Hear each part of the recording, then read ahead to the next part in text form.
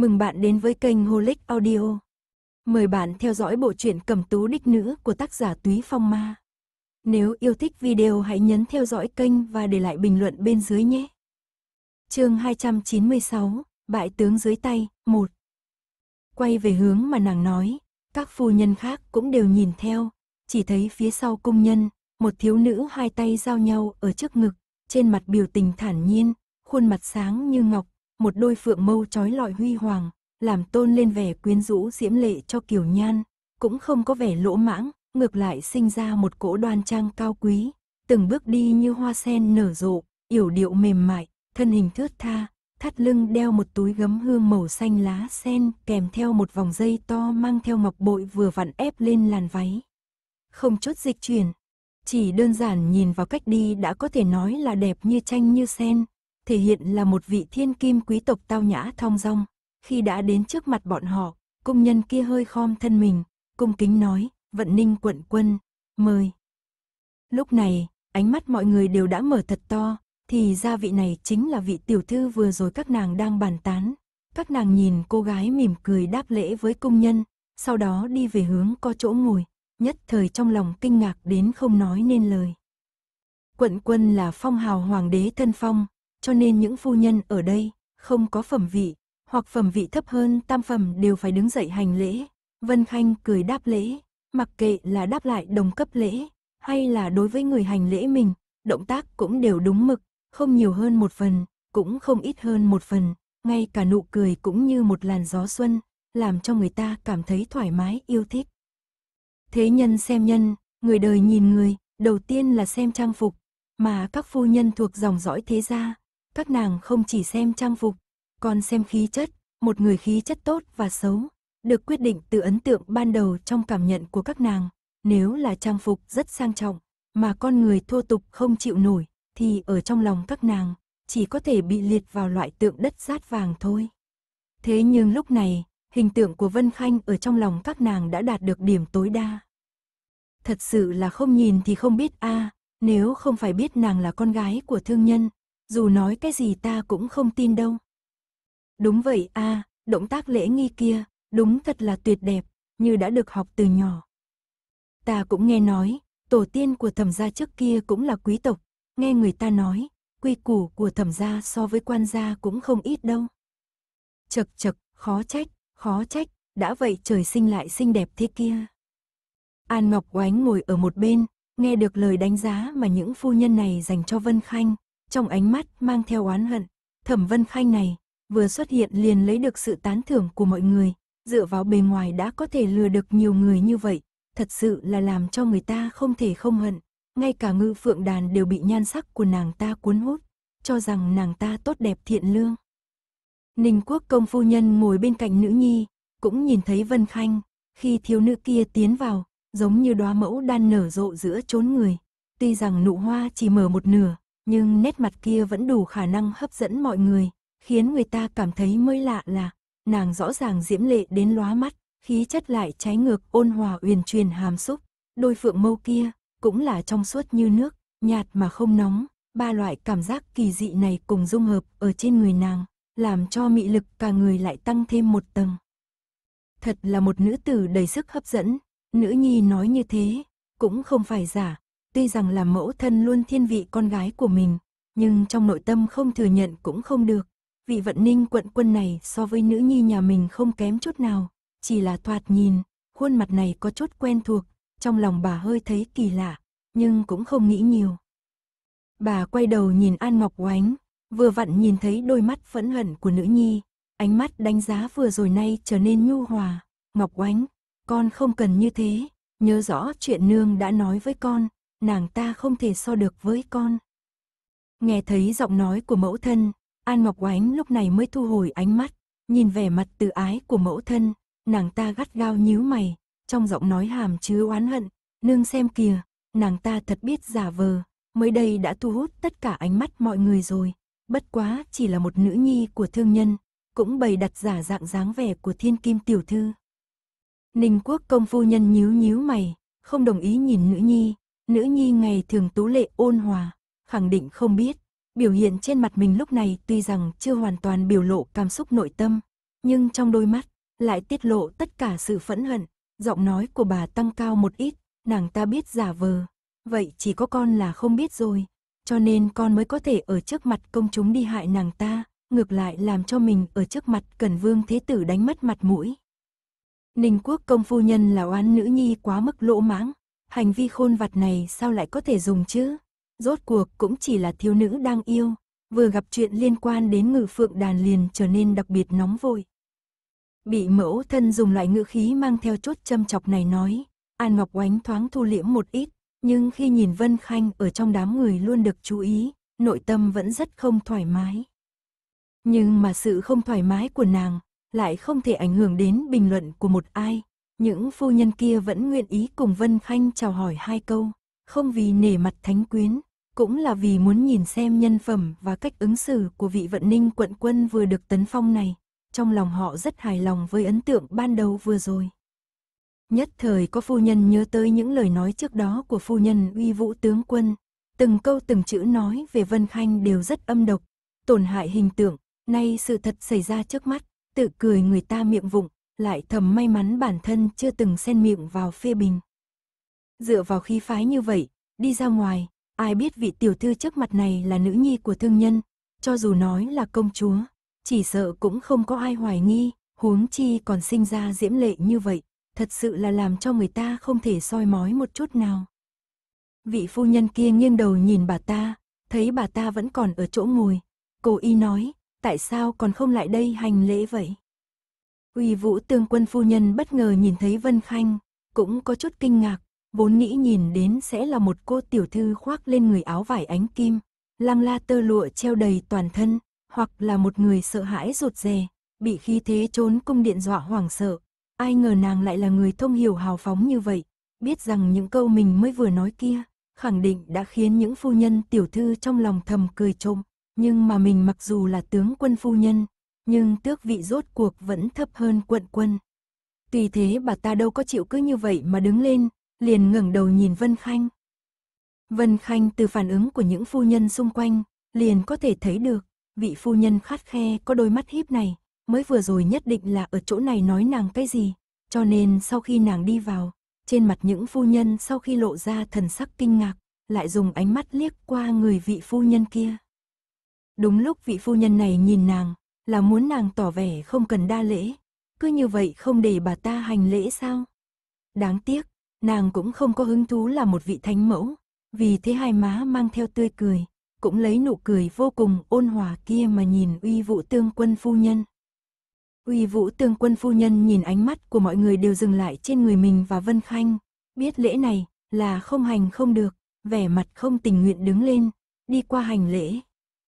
Bởi vì bà ta không tình nguyện, nên lễ này đương nhiên được tất cả mọi người chú ý quan sát. Lễ bộ thượng thư phu nhân đối với những lời bình phẩm của bà ta vừa rồi thập phần không vui, lúc này liền thản nhiên nở nụ cười, phu nhân hành lễ như vậy, dường như không đúng quy củ cho lắm. Lời này vừa vặn làm nổi bật lời trước đó bà ta nói Vân Khanh không hiểu lễ nghi, nhìn ngó lung tung, còn muốn lén trộm kim ngân, những phu nhân có mặt sao lại nghe không hiểu, người người đều che miệng, vụng trộm dò xét uy vũ tướng quân phu nhân, âm thầm bật cười. Vân Khanh vẻ mặt một chút biến hóa đều không có, tựa hồ không biết những phu nhân này đang cười cái gì. Điều này làm cho tứ hoàng tử đang đứng ở cách đó không xa nhìn qua bên này với đôi mắt trầm tư đầy ý vị. Thẩm Vân Khanh cũng không phải là người đơn giản, từ lúc ở Dương Châu thì hắn đã biết, trong tính cách của nàng có sự kiên nghị cùng quyết đoán, can đảm cẩn trọng, khi tung tích của phụ thân vẫn còn chưa có manh mối, một tay nàng chống đỡ cả cơ nghiệp của thẩm gia, theo lý mà nói hẳn là một nữ tử mạnh mẽ thô lỗ. Thế nhưng lúc này nhìn lại, chỉ cảm thấy nhất cử nhất động, đều toát lên vẻ dịu dàng cuốn hút, căn bản là nhìn không ra nàng từng làm qua chuyện mạnh mẽ vang dội như vậy. Đúng lúc này, phía bên ngoài lại xuất hiện một vị tiểu thư, vào lúc sắc mặt của uy vũ tướng quân phu nhân càng ngày càng kém, thướt tha tiêu sái đi đến trước mặt mọi người.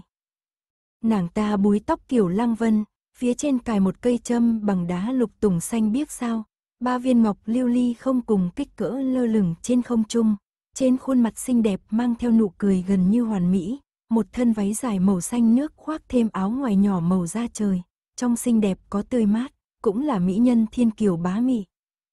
Chỉ thấy sau khi nàng ta đi tới, liền đi đến trước mặt uy vũ tướng quân phu nhân, thanh âm nhu hòa cất lên, nghĩa mẫu.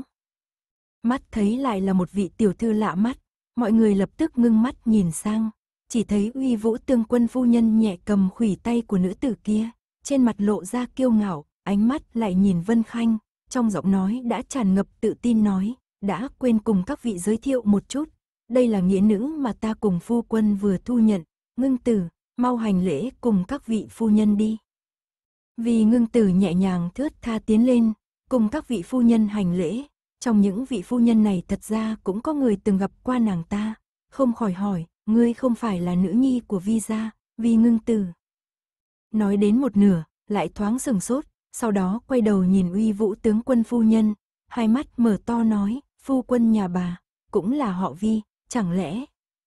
Uy vũ tướng quân phu nhân mỉm cười, ánh mắt ti hí bởi vì tươi cười có vẻ càng thêm nhỏ, cơ hồ chỉ còn lại có một đường cong, đúng vậy a các vị còn không biết, phu quân nhà ta là ca ca của phụ thân vi ngưng tử. chương 297, bại tướng dưới tay, 2 Uy vũ tướng quân phu nhân đang cùng các vị phu nhân giới thiệu, còn vi ngưng tử thì đi hành lễ, đi đến chỗ Vân Khanh đang đứng ở một bên, cũng không giống những người khác vây quanh uy vũ tướng quân phu nhân.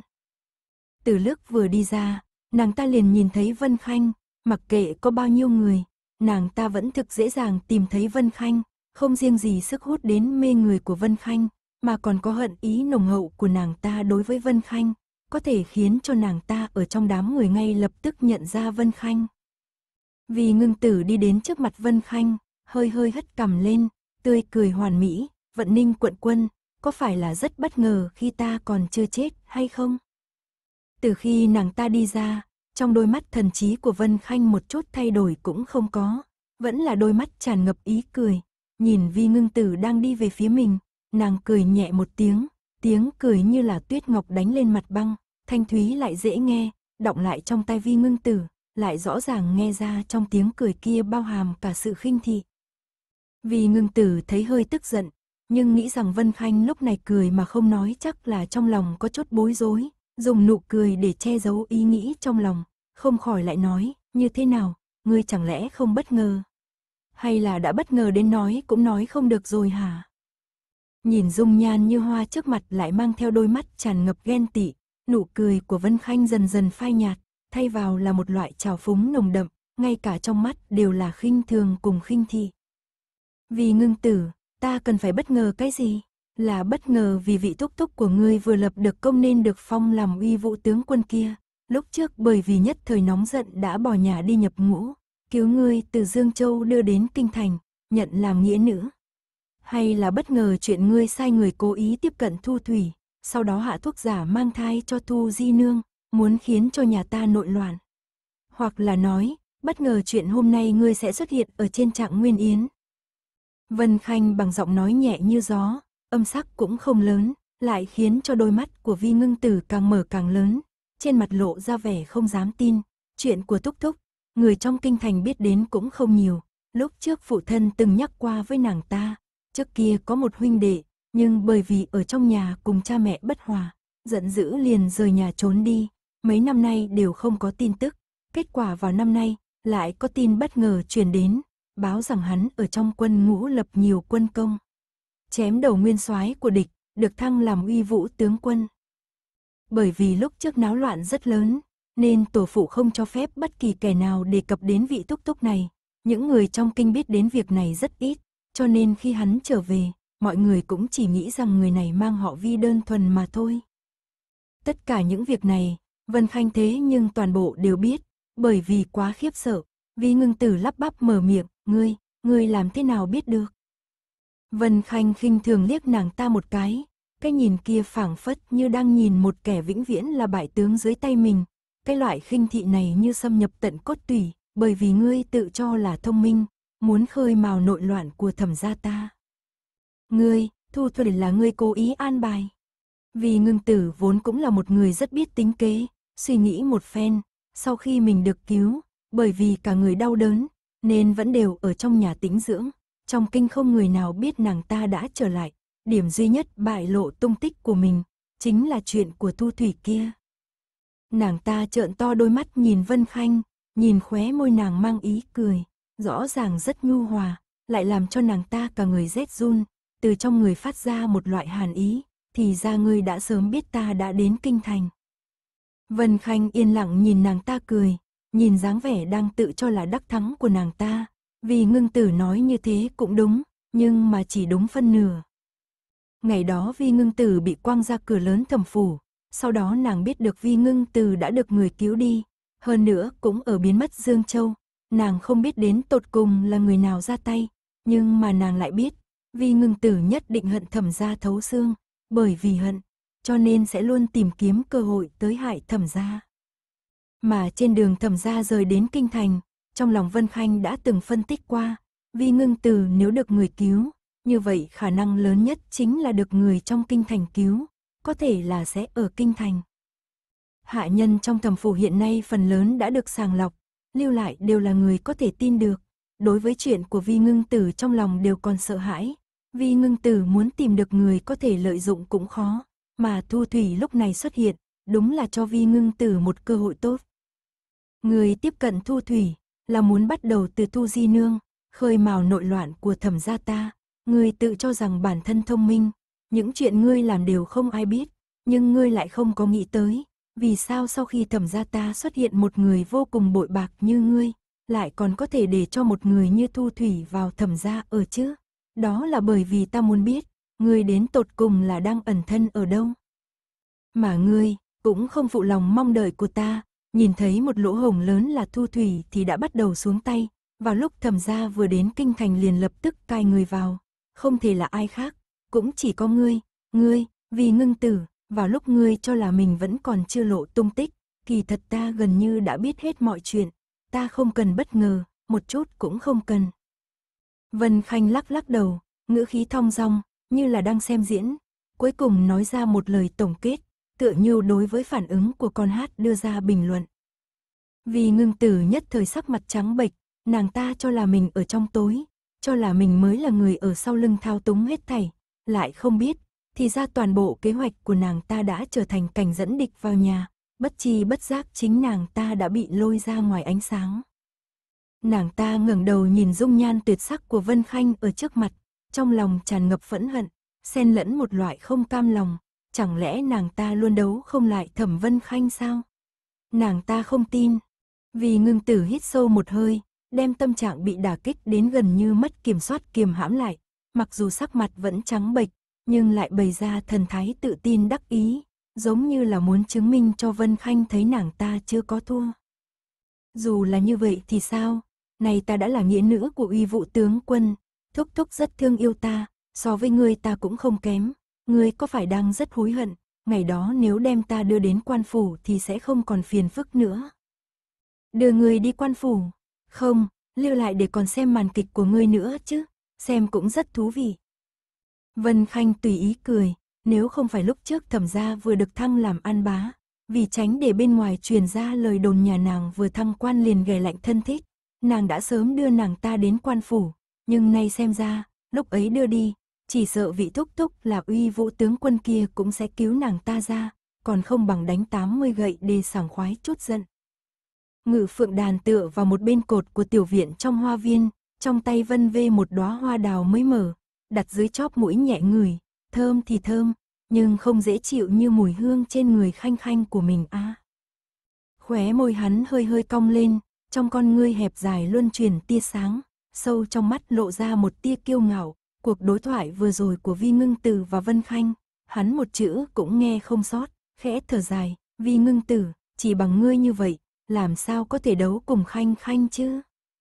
Lúc trước khi hắn cùng Thu Di Nương đi tìm Thu Thủy phát hiện có người đi theo phía sau, khi hắn bắt được người kia, phát hiện người này cũng là một sa phu quản sự trong quý phủ của Khanh Khanh, hỏi ra mới biết, thì ra là đại tiểu thư vẫn sai gã theo sát Thu Thủy, khi đó, hắn đã biết, tiểu hồ ly đã sớm đi nước cờ tiếp theo rồi.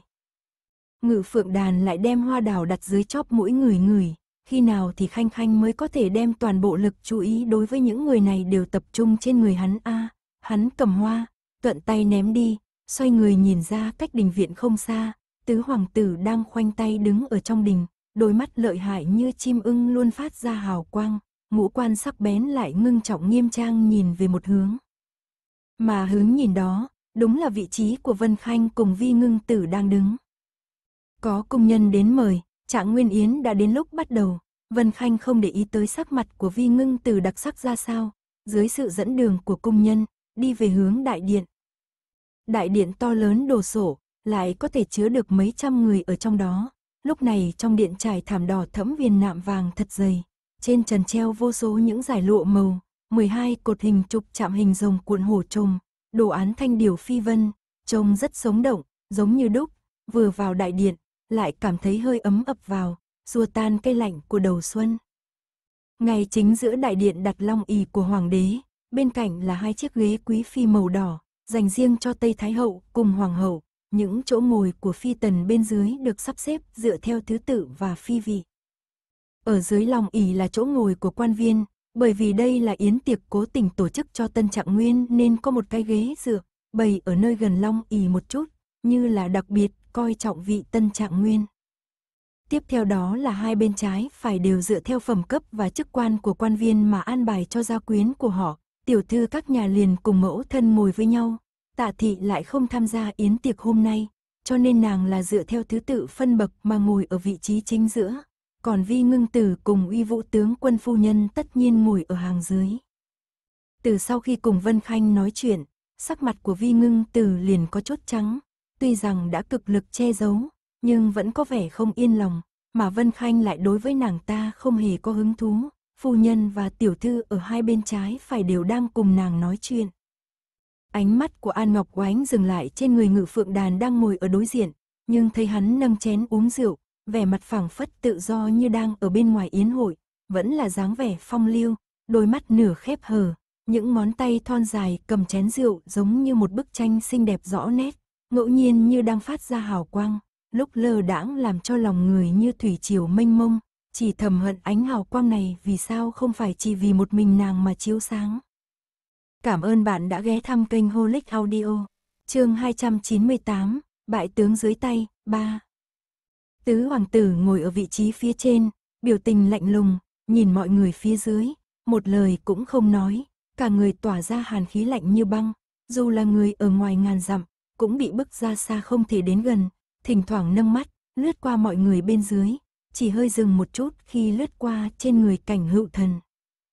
Cảnh hữu thần cùng tứ hoàng tử đối diện nhau chỉ một cái chớp mắt, chỉ một cái gật đầu nhẹ đến không thể nhẹ hơn, sau đó rời đi. Những việc này đều không tránh được tầm mắt của Vân Khanh, nàng đem sự âm thầm trao đổi của hai người thu hết vào trong mắt.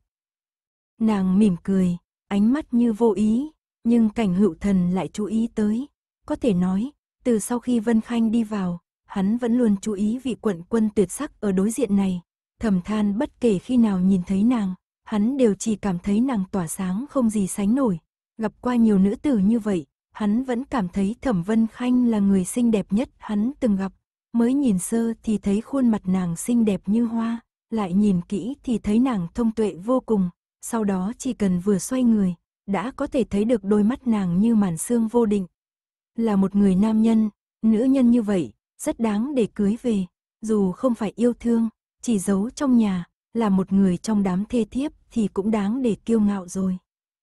Hắn nhìn đến nhập thần, lại cảm thấy bên cạnh có hai luồng ánh mắt lạnh như băng lại lộ ra sát khí như lưỡi đao sắc bén, khiến hắn không thể không thu hồi tầm mắt, quay đầu nhìn về nơi phát ra ánh mắt ấy, lại chỉ nhìn thấy Cẩn Vương Thế Tử đang dương lên đôi môi đỏ mọng. Từ từ, các loại món ăn chân quý và mỹ vị lần lượt được bưng lên, Trạng Nguyên Yến bắt đầu, Minh Đế ngồi ở trên cao, tiếp lấy ly rượu ngon do công nhân truyền tới, nhìn Vi Trầm Uyên, nói những lời chúc mừng. Còn Vi Trầm Uyên liền lập tức đứng lên, cũng dơ lên chén rượu ở trên bàn mà đáp lễ tạ ơn Minh Đế. Minh Đế uống vào một ngụm rượu, mỉm cười nói, ái khanh tài học hơn người, có thể giành được vị trí trạng nguyên, tương lai phồn vinh hưng thịnh của đại ung, có lẽ phải trông cậy vào tài năng của ái khanh rồi. Rốt cuộc đã làm đế vương nhiều năm, khi khen ngợi Vi Trầm Uyên, cũng đồng thời khen ngợi các đại thần quan viên khác trong đại điện. Tiết Quốc Công, Trương Các Lão, các bộ thượng thư đều lập tức đứng lên, đối với Minh Đế tỏ lòng trung thành, trong miệng nói ra những lời đương trường nên nói. Vân Khanh nhìn thoáng qua mọi người ở đây, tâm tư của họ đều được giấu dưới lớp vỏ bọc, ở mặt ngoài thoạt nhìn hòa thuận mà yên tĩnh, nhưng bên trong sự hòa thuận và tĩnh lặng này, trong lòng phần lớn bọn họ đều đang nghĩ, những lời đồn đãi gần đây nếu được nhắc tới trong bữa tiệc trạng nguyên hôm nay sẽ có hậu quả như thế nào. Bên trong bầu không khí đang dần trở nên náo nhiệt thì một thanh âm đột nhiên vang, khiến xung quanh đều trở thành một mảng tĩnh lặng. Lại thấy cảnh hữu thần vén áo bảo hướng về phía trước khom người, nói đối với Minh Đế, bệ hạ, về tính chân thật trong bảng thành tích của Vi Trầm Uyên còn có nghi vấn, thần có việc muốn bẩm báo. Ở trên trạng Nguyên Yến, vốn là lúc để chúc mừng, đột nhiên lại nghe được một đoạn cao án như vậy, lực chú ý của mọi người tự nhiên đều tập trung về cảnh hữu thần, vì hộ bộ thị lang trẻ tuổi này, cũng là một trong những thần tử mà Minh Đế có vẻ yêu thích, lúc này hắn làm như vậy, tất nhiên là có sự tình muốn bẩm báo. Thế nhưng, trên mặt Minh Đế không có một chút kinh ngạc nào, sâu thẳm trong đôi mắt lộ ra một tia sáng tinh nhuệ, thực hiển nhiên, lời đồn đãi mấy ngày qua trong kinh thành về việc thành tích của Vi Trầm Uyên đạt được trạng nguyên là có gian lận vị hoàng đế này cũng đã nghe thấy. Lúc này, ông cũng chỉ nhìn cảnh hữu thần, sắc mặt lộ ra vẻ uy nghiêm, cảnh ái khanh, khanh có biết bản thân đang nói cái gì không? Trong đại điện, giọng của Minh Đế không cao không thấp, lại sâu trầm vang dội, kiếp sống đế vương lâu năm khiến trong lời nói của ông có một loại uy hiếp ở trong đó, huống chi vị trí trạng nguyên của Vi Trầm Uyên là đích thân bệ hạ khâm điểm, hoài nghi thành tích của Vi Trầm Uyên, cũng đồng nghĩa với việc hoài nghi con mắt đánh giá của bệ hạ. Cảnh hữu thần chịu áp lực lớn như vậy, dưới ánh nhìn chăm chú của mọi người, bước ra khỏi bàn, đứng ở bãi đất trống giữa đại điện hơi hơi cúi đầu nói, bệ hạ, hôm nay là trạng nguyên yến, là vì để chúc mừng trạng nguyên, vì thần nếu không phải biết chuyện này, tất nhiên cũng sẽ không mạo muội mở miệng, thành tích của trạng nguyên vi trầm uyên do đích thân bệ hạ khâm điểm, nhưng thành tích trong kỳ thi hương, thi hội thì lại đặc biệt làm người ta hoài nghi, đặc biệt là kỳ thi hội.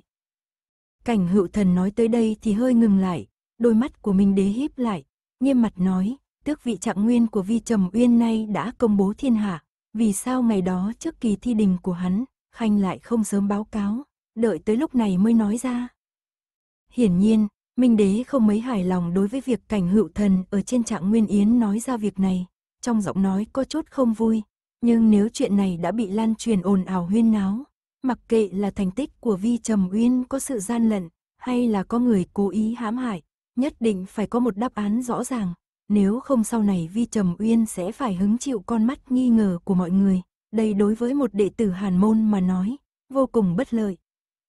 Cảnh hữu thần hiển nhiên cũng hiểu hàm ý của Minh Đế, nhưng hắn lần này là có chứng cớ nên mới dám truy luận đến cùng, nếu không phải, hắn cũng sẽ không như vậy đứng ra, vì thế thái độ hắn hơi cung kính, trong thanh âm lại bao hàm sự tàn khốc, thần cũng chỉ vừa biết được đầu đuôi chuyện này, tự biết lúc này nói ra xác thực có chút hiểm nghi, nhưng mà khoa cử triều ta thiên về chính sách chọn lựa nhân tài, mỗi một đệ tử đều là gian khổ học tập, trải qua từng tầng sàng lọc mới có ngày hôm nay, vì thế,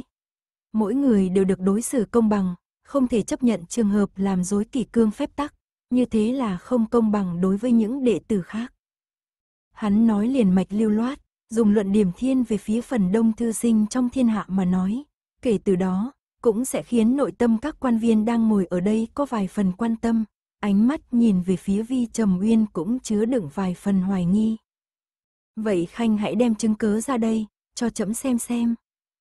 Minh đế không chút hoang mang mà mở miệng, mặc dù ông rất ưng ý Vi Trầm Uyên, nhưng ông cũng không cho phép dung túng hành vi làm mất trật tự kỷ cương như vậy. Cảnh hữu thần ngẩng đầu, sau đó xoay người, hắn không thẩm tra Vi Trầm Uyên như mọi người nghĩ, mà là nhắm ngay vị quan đang ngồi ở phía trên có tròm dâu trắng tinh, hai gò má gầy trương các lão. Bệ hạ, có thể cho phép thần hỏi trương các lão vài vấn đề không?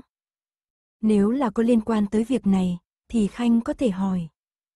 Minh đế thấy ánh mắt cảnh hữu thần đặt trên người trương các lão, trong lòng cũng có vài phần ngạc nhiên, việc này tại sao lại liên quan tới trương các lão.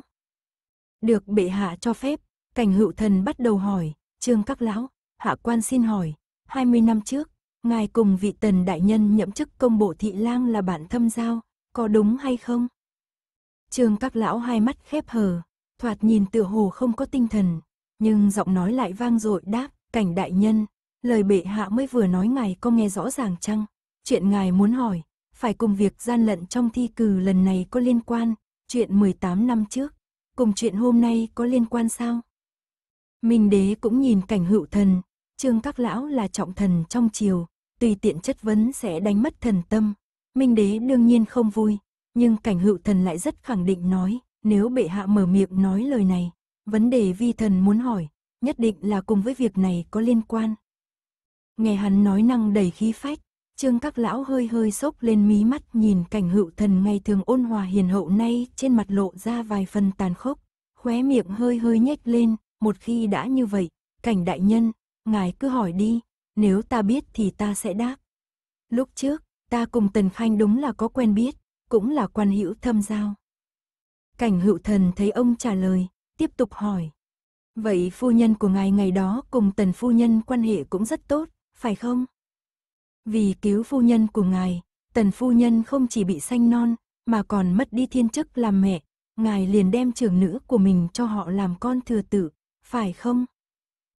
Hắn một vấn đề tiếp một vấn đề hỏi một mạch, trương các lão đều gật đầu, mà về việc này, có nhiều triều thần cũng không thấy thoải mái, đám người tuổi trẻ chỉ nghe qua án tham ô năm đó, cũng không hiểu được toàn bộ sự tình bên trong, mà những vị quan lâu năm đều biết việc này, chính là chuyện đã xảy ra hơn 20 năm trước rồi, không biết cảnh hữu thần nay vì sao lại lấy ra hỏi, lúc trước án kiện này dính líu đến không ít người, chẳng lẽ còn muốn truy xét đến cùng sao? Nên những vị lão quan đối với khí thế bức nhân của cảnh hữu thần nhất thời trong lòng không vui. Mà Minh Đế ngồi trên cao, cũng nghe ra manh mối trong đó, ngón cái cùng ngón trỏ ma sát nhau, trong ánh mắt lộ ra vài phần chuyên chú. Cảnh hữu thần cuối cùng cũng hỏi đến vấn đề chính, vậy trưởng nữ của ngài, có phải chính là mẫu thân của Vi Trầm Uyên, cũng chính là nữ nhi mà ngài từng cho làm con thừa tử của tần đại nhân, nay là tội thần chi nữ, tần thị, hay không? Trương các lão trong đầu nhớ tới ngày ấy nhìn thấy nữ nhi, vẻ mặt cơ cực bần cùng kia, đôi bàn tay thô ráp đầy vết chai. Tuy là trong lòng sớm đã có chuẩn bị nhưng lúc này thân phận tội thần chi nữ của nữ nhi lại ở trước mặt công chúng bị công bố. Vốn người không biết hay đã biết, nay sẽ dùng ánh mắt cùng tâm tính gì mà nhìn nữ nhi chứ. Nghĩ như thế, đối với cảnh hữu thần liền chán ghét nhiều hơn vài phần, lông mi hoa dâm nhăn lại, ngữ khí cũng hơi có chút tức giận. Cảnh đại nhân nếu đã điều tra rõ ràng rồi,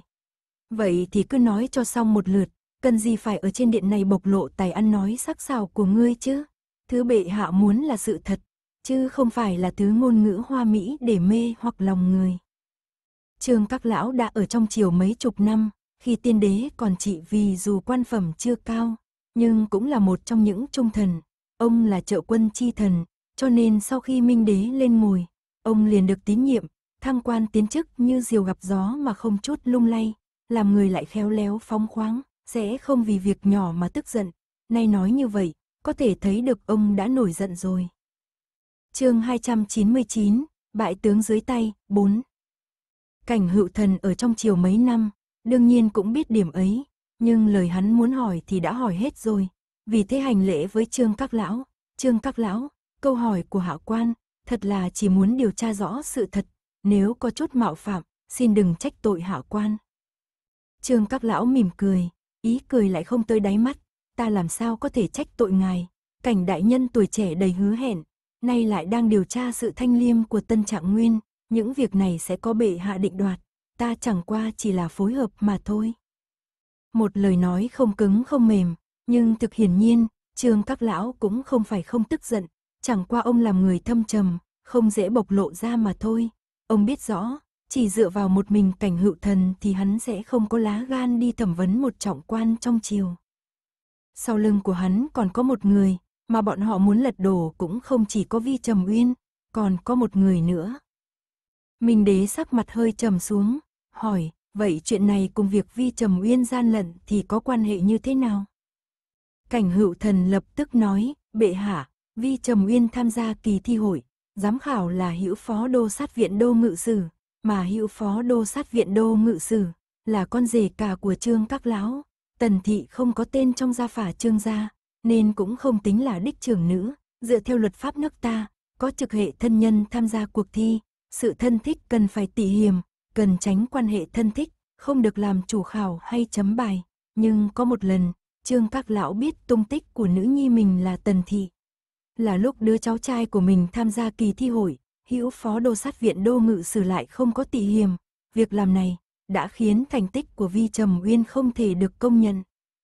Lời của hắn vừa dứt, hữu phó đô sát viện đô ngự sử Tào Sương Thịnh đã nổi cơn thịnh nộ muốn ngồi bật dậy, vẻ mặt tức giận, nói với cảnh hữu thần, cảnh hữu thần, bản quan thân là quan chủ khảo, cả đời không thẹn với lương tâm, về việc Vi Trạng Nguyên là cháu trai của Trương Các Lão, bản quan cũng chưa từng nghe nói, cho dù là biết, bản quan cũng sẽ không vì thế mà làm ra việc trái pháp luật.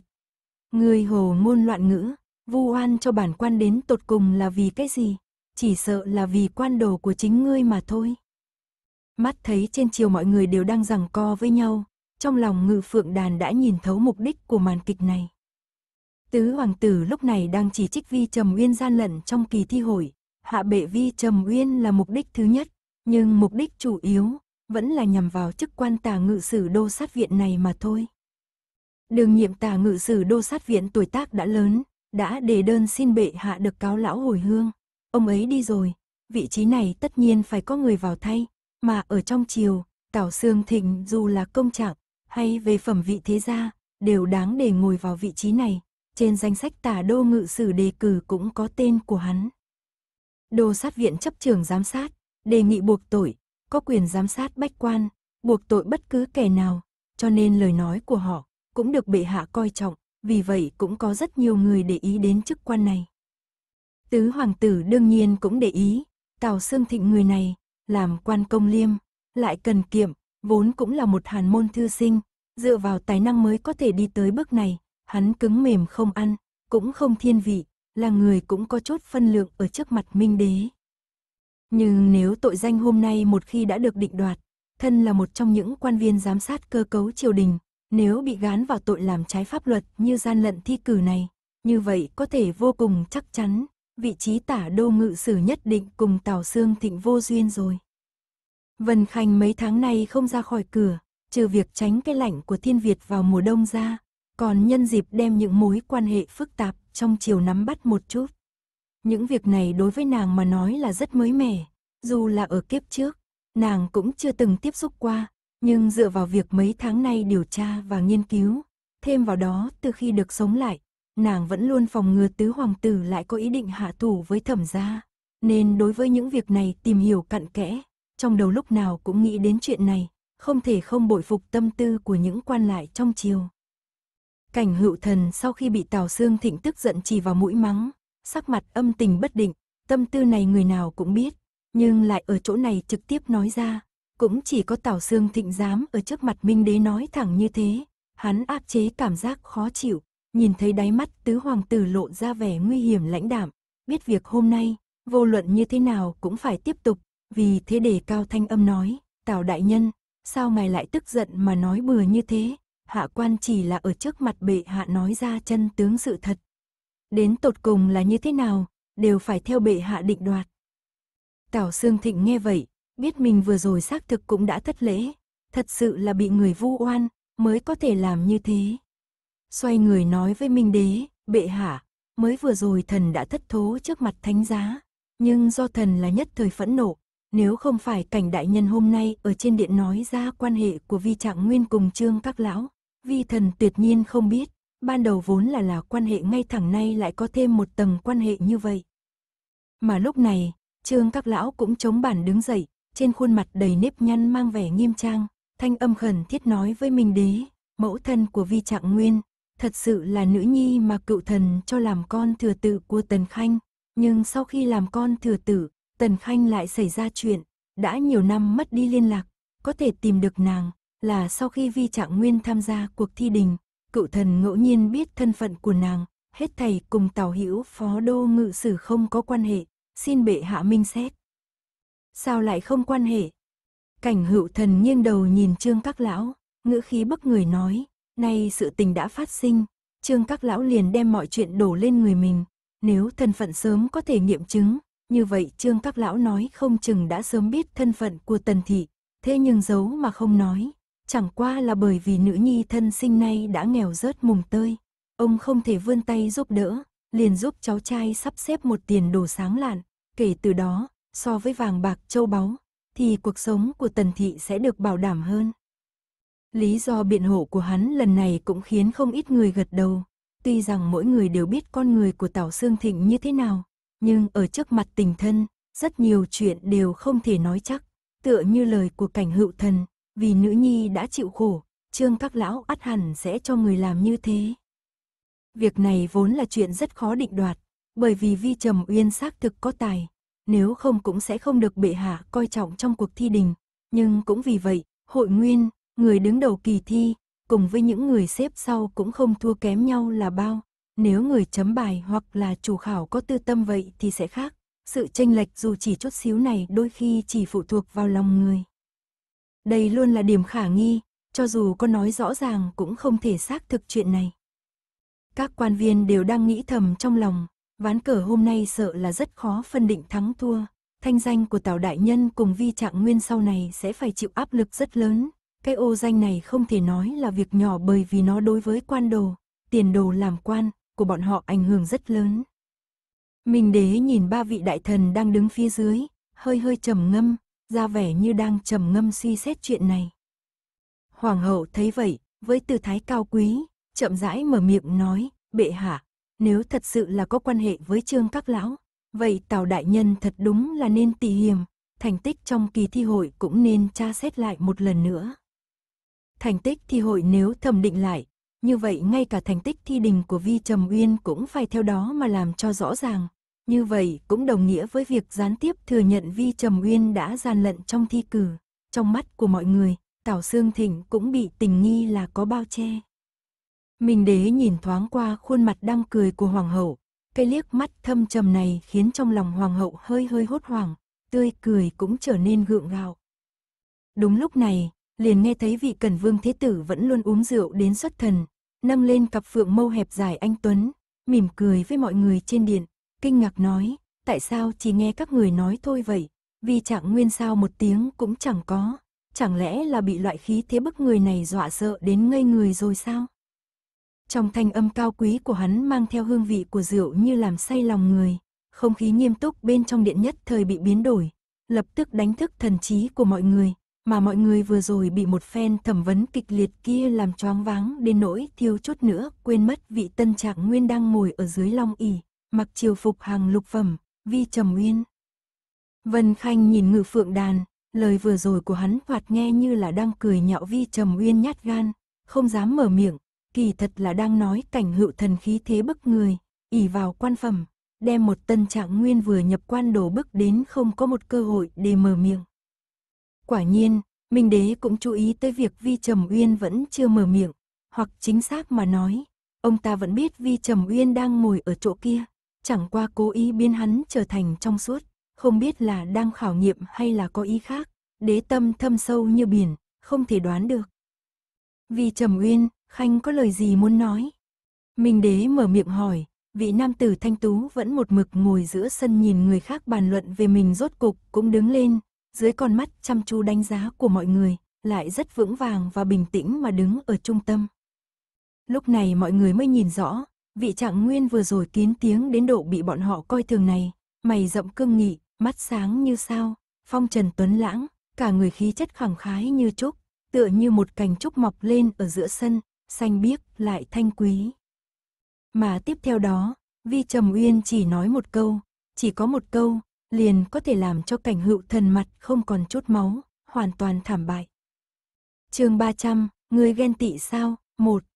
Tất cả những lời cảnh đại nhân vừa nói, ngoại trừ khoảng thời gian mẫu thân và trương các lão nhận nhau, thì đều là sự thật. Quả thật khiến mọi người vô cùng bất ngờ, Vi Trầm Uyên chẳng những không tranh cãi, càng không minh oan, mà lại bình tĩnh thốt lên một câu như vậy, ngay cả Minh Đế cũng đều cảm thấy có chút ngoài ý muốn, Ông cho rằng người thanh niên ngồi ở kia không nói một lời, là chờ đến phút cuối cùng mạnh mẽ lật ngược thế cục, ai ngờ chỉ nói đúng một câu, bèn hơi nghiêng người nghi vấn, Khanh không còn gì khác muốn nói à. Vì Trầm Uyên đáp lễ lại, trên mặt nở nụ cười thản nhiên, không, thưa bệ hạ, chuyện này vi thần vô luận nói cái gì, đều sẽ liên lụy không rõ, bởi vì thời gian nhận lại người thân, không có ai có thể chứng minh, mà phê duyệt bài thi thì tuy rằng có các giám khảo khác, nhưng Tào Đại Nhân đúng thật là chủ khảo, chủ yếu là do ngài ấy quyết định, những chuyện như vậy, không phải thần nói không có, hoặc là có, thì có thể giải thích rõ ràng. Quả thật là như vậy, bởi vì vấn đề này, lấy không ra chứng cớ để giải thích, cũng bởi vì như thế, cảnh hữu thần mới dám đứng trước đại điện cáo trạng, cảnh hữu thần nhìn hắn, đáy lòng hơi hơi đắc ý. Đúng lúc đó, Vi Trầm Uyên quay đầu liếc mắt nhìn hắn ta, còn người đen như mực mang chút ý cười khó nắm bắt, liền xoay người tâu với Hoàng thượng. Thế nhưng, Vi Thần lại biết, vì sao cảnh đại nhân hôm nay ở trên đại điện, đưa ra vấn đề này. Vị trạng nguyên này đột nhiên truyền đề tài, khiến cho mọi người đều âm thầm phỏng đoán, người thanh niên này đang muốn nói cái gì. Chẳng lẽ hắn tính nói ra chuyện liên quan giữa Tào Đại Nhân và vị trí tả đô ngự sử hay sao? Tình thế lúc này, ích lợi thiệt hơn thế nào, cho dù trong lòng mọi người đều hiểu rõ, nhưng nói ra cũng không giúp ích gì nhiều cho hắn, huống chi loại chuyện này không thể thảo luận công khai được. Quan trường đều có quy tắc ngầm của nó, chuyện gì có thể làm, chuyện gì không thể làm, đều phụ thuộc vào con đường mà bản thân lựa chọn. Nếu vì Trầm Uyên công khai nói ra, như vậy chứng tỏ người thanh niên này không thích hợp sinh tồn trong chốn quan trường đầy rẫy cám dỗ và cạm bẫy. Trong khoảng thời gian ngắn, trong lòng mọi người đều luân chuyển vô số ý nghĩ, mà tứ hoàng tử khi nhìn Vi Trầm Uyên, nghĩ đến lúc trước vị Hàn môn thư sinh được Vân Khanh giúp đỡ, nay đứng trước đại điện, trở thành tân trạng nguyên lang, bị hắn xem như quân cờ để đạp đổ Tào Hưng Thịnh, hai tròng mắt băng lãnh theo bản năng quay đầu nhìn Vân Khanh, vừa vặn trông thấy bàn tay trắng nõn của Vân Khanh đang cầm chén trà, khẽ nhấp một ngụm, tư thái tao nhã, trong đôi mắt phượng xinh đẹp kia là vẻ bình tĩnh thong dong. Đang chăm chú nhìn Vi Trầm Uyên. Không biết như thế nào, trong lòng hắn bỗng sinh ra một loại ý niệm trong đầu, việc hôm nay có lẽ sẽ phát sinh chuyện ngoài ý muốn. Quả nhiên, Minh Đế sau khi nghe được lời của Vi Trầm Uyên, lập tức mở lời, vậy Khanh hãy nói cho trẫm, rốt cuộc là vì sao? Vi Trầm Uyên cúi đầu xác nhận, sau đó ngẩng đầu, nhìn mọi người chung quanh một vòng, từ nơi sâu nhất trong đôi mắt đen thẳm lóe lên tia sáng, cao giọng nói với Minh Đế, mẫu thân Vi thần thân mang trọng tội, bị biếm làm quan nô, đến quan gia làm tỷ nữ, vì hoài thai Vi thần mà phải tránh ở nông thôn, theo lời mẫu thân nói, phụ thân của Vi thần chính là Vĩnh Nghị hầu cảnh hào. Giọng nói của hắn vẫn vang vẳng trong đại điện, rõ ràng lời đã dứt, nhưng mọi người vẫn cảm thấy dư âm lượn lờ quanh tai, nhất thời đều trợn to đôi mắt nhìn Vi Trầm Uyên, một lão phu nhân thất thố đứng bật dậy từ chỗ ngồi, sắc mặt kinh ngạc, ngữ khí kích động nói, mẫu thân ngươi là Ngân Hoàn. Vị lão phu nhân này, chính là Lý Lão Thái Quân của Phủ Vĩnh Nghị Hầu, là thê tử kết tóc của Lão Vĩnh Nghị Hầu, nhất phẩm cáo mệnh phu nhân, lúc này cũng mặc kệ lễ nghi đứng bật dậy, khiến mọi người cảm thấy kinh ngạc, tất cả lực chú ý đều tập trung vào Lý Lão Thái Quân và Vi Trầm Uyên, đôi mắt bốc lên hai đốm lửa hóng chuyện. Phủ Vĩnh Nghị Hầu từ sau khi Lão Vĩnh Nghị Hầu mất, dưới gối Lý Lão Thái Quân không có con, liền nhận nuôi thứ trưởng từ cảnh hạo dưới danh nghĩa của bà, thừa kế tước vị, không bao lâu sau thứ trưởng từ cảnh hạo bị bệnh mất đi, thê tử vì đau lòng nên đã tự tử theo, dưới gối không con, nhất thời tước vị bỏ không, bệ hạ cảm động và nhớ thương công lao của lão Vĩnh Nghị Hầu, vẫn không thu hồi tước vị, mà cho phép để chống. Trong đám con của vợ kế, cảnh hữu thần là người nổi bật nhất, đã có tin đồn phong phanh, Lý Lão Thái Quân chuẩn bị dâng sớ, đem tước vị truyền cho người con nhỏ nhất của vợ kế này. Hiện tại tình huống trước mắt, sự tình dường như thay đổi 180 độ, tất cả mọi người đều nhớ lúc trước cảnh hạo chỉ có một người vợ cả, cũng không có thê thiếp, sao giờ lại nói Vi Trầm Uyên là con của cảnh hạo, mà Lý Lão Thái Quân, bất ngờ thất thố hỏi ra một câu như vậy, bên trong tất có ẩn tình. Hiển nhiên Minh Đế cùng mọi người cũng có ý tưởng giống nhau, nên không mở miệng ngăn cản, thế nhưng Hoàng hậu đã có chút kiềm chế không được, bà ta biết, những cây khác về Vi Trầm Uyên đều không cần nói, chỉ cần dựa vào danh phận hắn là nhi tử của Vĩnh Nghị Hầu Cảnh Hạo, thì hết thảy những lời hôm nay của Cảnh Hữu Thần, toàn bộ đều từ chuyện làm dối kỷ cương khoa cử biến thành vì tranh giành tước vị, mà tước vị tranh giành, nhắm thẳng vào tội danh của Trạng Nguyên. tuyệt đối sẽ khiến cho Minh Đế tức giận. Trong mắt bà ta mang theo vẻ gấp gáp, trên mặt vẫn duy trì đoan dung mở miệng, vì trạng nguyên, hôm nay là nhắc tới cáo trạng làm dối kỷ cương khoa cử, ngươi ở trên điện công khai thân thế, là muốn rời đi tầm mắt của mọi người sao? Vì Trầm Uyên thản nhiên cười, xoay đầu lại, ngẩng khuôn mặt trong suốt chính trực, hai mắt trong trẻo, hoàng hậu nương nương, vi thần nói ra thân thế, chính là muốn nói cho mọi người biết vì sao cảnh đại nhân không đưa ra chứng cứ thực tế, lại đứng trước đại điện dùng khí thế áp đảo vi thần, muốn chứng minh một trạng nguyên như vi thần đã làm dối kỷ cương phép nước, bởi vì hắn biết, vi thần xuất hiện, sẽ tạo thành uy hiếp đối với tương lai của hắn. Ta không có. Cảnh hữu thần từ trong trạng thái ngu ngơ khi nghe được tin tức vừa rồi đã phục hồi lại tinh thần, hắn quả thực khó có thể tiêu hóa được tin tức này. Yết hầu giống như vừa nuốt phải một khúc xương, lên không được, xuống không xong, chỉ cảm thấy hít thở vô cùng khó khăn, vì Trầm Uyên, theo ta được biết, đại ca chỉ có một mình đại tẩu là thê tử, ngươi ngang nhiên giả tạo thân phận, rốt cuộc là vì mục đích gì? Cảnh hữu thần nói một chàng rất đúng lý hợp tình, mọi người đều biết cảnh hạo không có tiểu thiếp hay thông phòng, nhưng kế tiếp lý lão thái quân lại nói xen vào một câu, bàn tay đã nổi đầy gân xanh của bà, trên da tay lốm đốm đồi mồi vội nắm chặt lấy bàn tay nha hoàn bên cạnh, cánh tay hơi run lên, tiết lộ tâm tình kích động của bà lúc này, vì trạng nguyên, ngươi nói, mẫu thân của ngươi có phải là ngân hoàn hay không? Lại là câu hỏi đó, vi trầm uyên xoay người, đôi mắt khi nhìn Lý Lão Thái Quân không có bao nhiêu cảm tình, âm thanh lạnh lùng nói, đúng vậy, mẫu thân ta chính là đại nha hoàn bên cạnh hầu gia bị bà đuổi đi, ngân hoàn.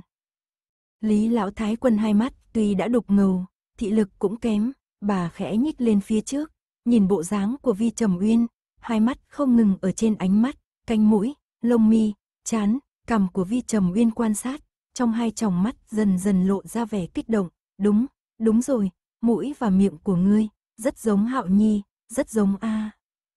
Một ít cựu thần sau khi nghe Lý Lão Thái Quân nói như thế, cũng cẩn thận quan sát Vi Trầm Uyên, ngay cả trương các lão cũng nhìn chăm chú.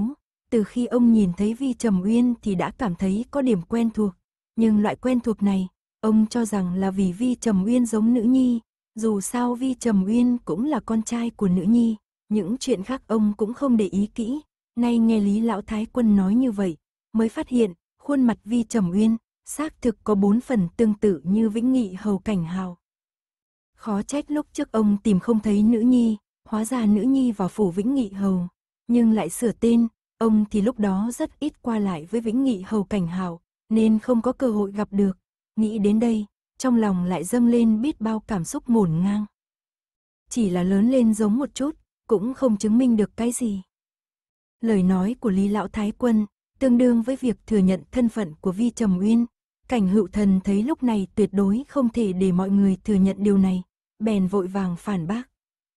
Ta cũng không định dùng tướng mạo để chứng minh cái gì, trên thế gian người giống người không phải chỉ có một hai.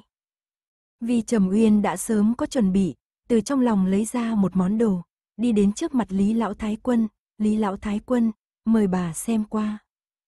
Nhà hoàn bên cạnh tiến lên tiếp nhận chiếc hà bao nhỏ trong tay hắn, lại từ bên trong lấy ra một khối huyết ngọc vuông vức sao, lật mặt sau, có thể nhìn thấy phía trên có khắc hai chữ hoàn hảo. Lý lão thái quân tiếp nhận, cẩn thận quan sát một hồi, ở mặt trên của miếng ngọc điêu khắc một đóa hoa thược dược, bên cạnh có một khe nứt, khe nứt kia chỉ dùng ít keo dính vào, tuy rằng đã sửa lại hoàn hảo, nhưng vẫn nhìn ra được một chút dấu vết. Tay bà vuốt ve mặt trên miếng ngọc, gật đầu nói, đúng vậy, đây là Hạo Nhi lúc trước khắc cho Ngân Hoàn. Vĩnh Nghị hầu cảnh Hạo lúc còn sống không cờ bạc, không tới kỹ viện, cũng không thích uống rượu, chỉ có duy nhất một sở thích đó là huyết ngọc và điêu khắc. Khối huyết ngọc này chính là tự tay ông ấy lựa chọn, sau đó đích thân điêu khắc, tặng cho Tần Thị lúc ấy đã đổi tên là Ngân Hoàn, mặt dưới có khắc tên hai người, xem như bằng chứng đính ước. Cảnh Hạo không hay nói nhiều, làm người thành thật, tại thời điểm tranh giành lúc ấy, cũng không ra tay hãm hại những người khác. Lý Lão Thái Quân chính là nhìn trúng điểm ấy của hắn, mới đưa hắn làm con thừa tự dưới danh nghĩa của mình, tìm cho Cảnh Hạo một hôn sự tốt, lại phát hiện Cảnh Hạo và nha hoàn bên cạnh là Ngân Hoàn có quan hệ, trong bụng Ngân Hoàn đã hoài thai đứa nhỏ, chuyện này trong một gia tộc lớn tuyệt đối không cho phép xảy ra, thông phòng trước khi chính thất vào cửa, đã mang thai sinh con. Chính là tát vào mặt chính thất, cho nên, Lý Lão Thái Quân tỏ ý, nếu muốn Ngân Hoàn lưu lại, nhất định phải xóa sạch đứa con trong bụng. Cảnh hạo trời sinh không phải là người tính tình cứng cỏi, không dám cãi lại lời Lý Lão Thái Quân, lúc tới đưa thuốc phá thai cho Ngân Hoàn, nhìn thấy nữ tử mình thích mắt nhòa lệ, lại không hạ thủ được xóa bỏ thân sinh cốt nhục của mình được. Cuối cùng, Ngân Hoàn đau khổ cầu xin hắn, không cần xóa sạch đứa nhỏ, cảnh hạo khó xử, suy nghĩ một phương thuốc trung hòa khác, gạt Lý Lão Thái Quân là đã cho Ngân Hoàn uống thuốc phá thai, sau đó đuổi Ngân Hoàn ra khỏi phủ, tìm một viện vắng vẻ an bài cho nàng. Đến lúc thời cơ chín mùi lại đón nàng trở về. Chỉ tiếc lão phu nhân không cho phép Ngân Hoàn ở lại thiên Việt. Cảnh hạo đối với Ngân Hoàn tình cảm quá sâu đậm, không đảm bảo về sau sẽ không phát sinh chuyện ngoài ý muốn. Liền sai người đưa Ngân Hoàn đi thật xa, không cho cảnh hạo biết rốt cuộc Ngân Hoàn đã bị đưa đến nơi nào. Đương nhiên, khi đó bà cho rằng cái thai của Ngân Hoàn đã bị xóa sạch, nếu không cũng sẽ không có vi trầm nguyên hôm nay.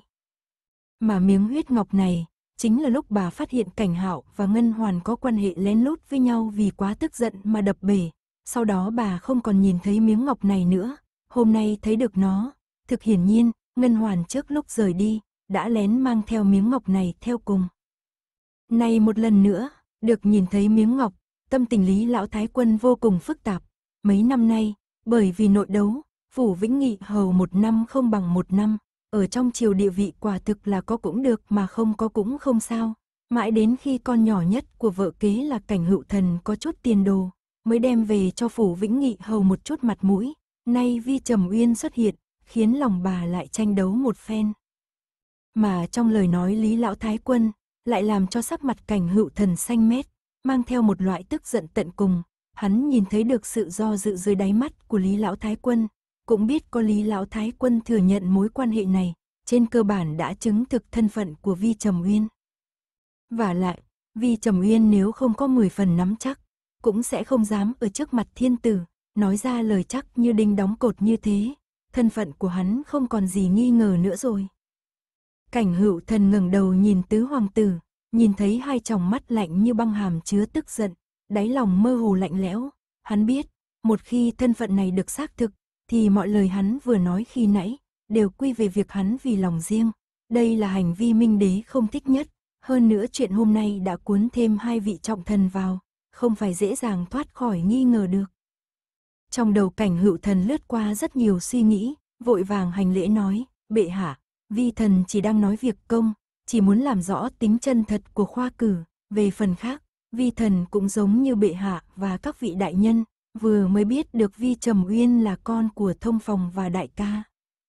Vi Trầm Uyên thấy Lý Lão Thái Quân đã thừa nhận, liền lấy lại khối huyết ngọc, cất vào trong lòng, lúc này mới xoay đầu lại, cười lạnh nói với cảnh hữu thần, cảnh đại nhân lúc này còn khăng khăng không biết rõ mọi chuyện, ngay cả mẫu thân hạ quan được trương các lão cho Tần Khanh làm con thừa tự mấy chục năm trước, người cũng có thể điều tra ra được, lúc này nói không biết thân phận của hạ quan, hành động này thật đúng là khéo quá hóa vụn, e là không thể nào khiến mọi người tin phục.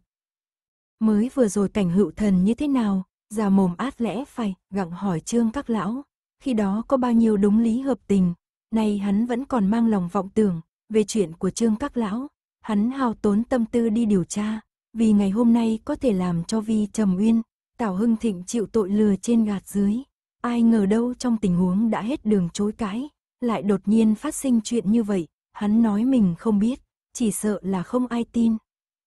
Lòng người đều là ích kỷ, cho nên thời điểm phỏng đoán người khác, cũng sẽ theo góc độ ích kỷ mà suy nghĩ. Hành vi hôm nay của cảnh hữu thần, đều là vì sau khi biết được Vi Trầm Uyên là con vợ kế của Vĩnh Nghị Hầu Cảnh Hảo, muốn đi trước một bước ở trước mặt mọi người, bôi xấu thanh danh của Vi Trầm Uyên, sau đó bản thân thì thừa kế tước vị, kết hợp trước sau câu chuyện, đều vô cùng hợp tình hợp lý.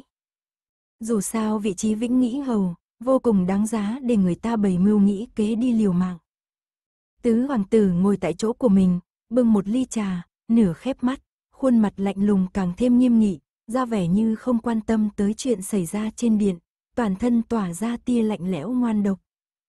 Còn hoàng hậu thì ánh mắt lo lắng, cẩn thận suy nghĩ xem lúc này bản thân nói gì mới là tốt nhất, mới có thể thay đổi tình thế. Bà ta đương nhiên biết chuyện hôm nay là do nhi tử thiết kế, nhưng mà thế sự hay thay đổi, cũng không phải con người đều có thể nắm được hết thảy trong lòng bàn tay. Có ai ngờ được thân phận của Vi Trầm Uyên lại phức tạp như thế, trong lúc vạch trần thân phận cháu trai của Trương Các Lão, còn vén lên một bí mật khác.